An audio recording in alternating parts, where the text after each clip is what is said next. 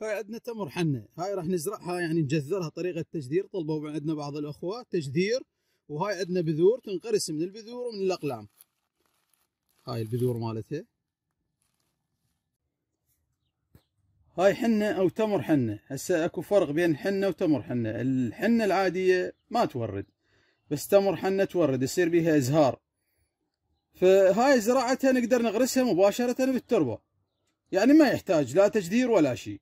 بس طلبوا من عندنا بعض الأخوة يردون يشوفون طريقة تجديرها. تنجح لو ما تنجح؟ طبعا تنجح ما يعني ما بيها أي مشكلة.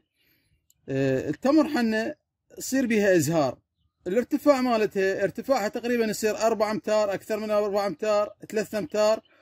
بس إحنا إذا نريد الحنة العادية يعني طبيعتها إذا اريد من عندها نستفاد منها الاوراق مالتها على مود الحنة ناخذ من عندها يعني حنه للبيع أو مثلا نستخدم الحنه فالأفضل يعني تنترك أربع اصابع أكثر من أربع اصابع ونقصها حد وحد قص جار.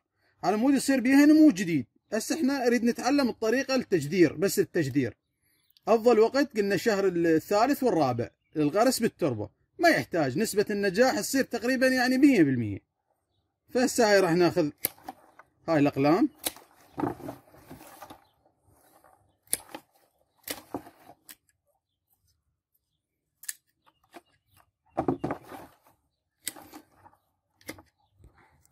هاي نبدي نغسلهن.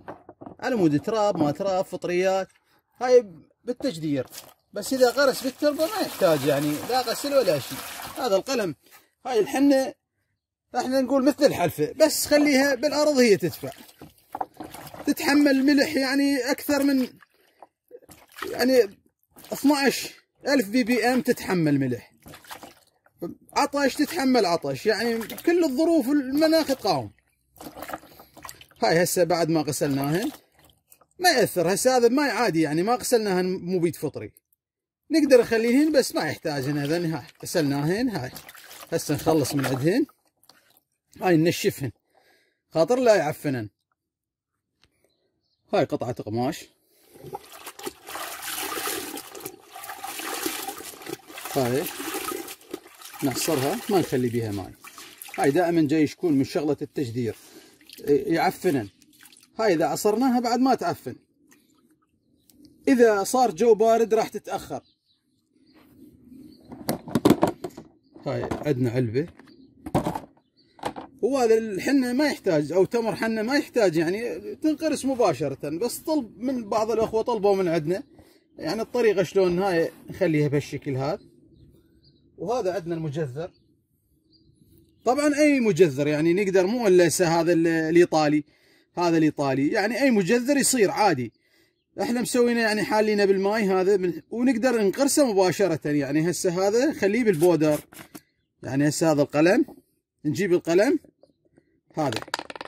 هذا بعد ما غرسناه بالمجذر نخليه هنا بهالشكل هذا.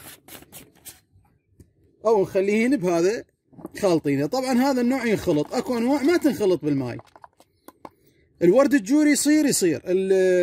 الزيتون يصير يصير. يعني يتجذر بهالطريقة. بس إذا احتر الجو بعد ما يصير. يعني أفضل وقت للتجذير شهر ال 12 والواحد الواحد والثاني. هاي بعد ما خلصنا نقطيهن.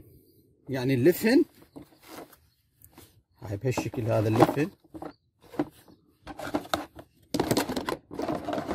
هاي إذا كانت علبة محكمة ما يحتاج بس إذا إذا مثلا بيها يعني تعبر يعني تدخل هواء آه نلفها بأي كيس نايلون هسه راح نشوف المجذرين هن هاي المجذرين هن فترة تجذير شهر. القلم إذا خلينا أكثر من شهر راح يفقد العصارة. إذا الجو بارد ما يأثر بس ما نخليه يعني أكثر من شهر. هسه هاي المجذرين هن هذني. هاي طبقات.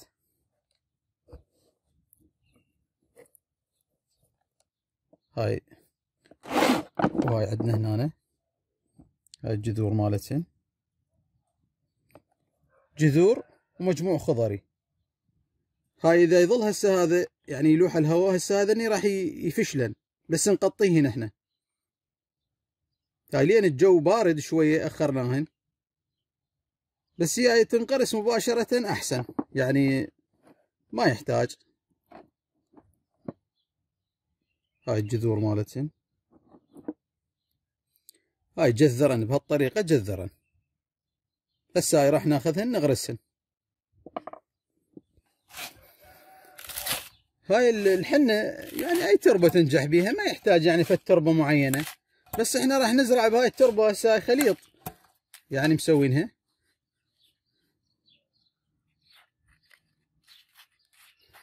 هاي هسه بعد ما نخلص نغطيها بأي يعني بلاستيك على مود لين هاي النموات جديدة. هاي تيبس هسه إذا ما نغطيها تيبس.